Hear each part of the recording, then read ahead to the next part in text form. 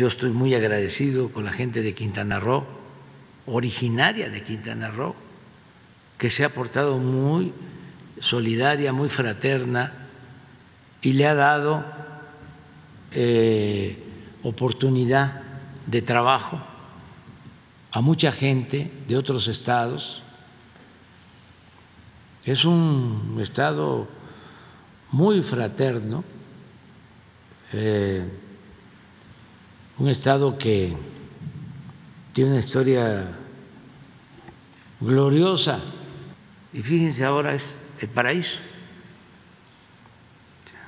Es una eh, cosa única en el mundo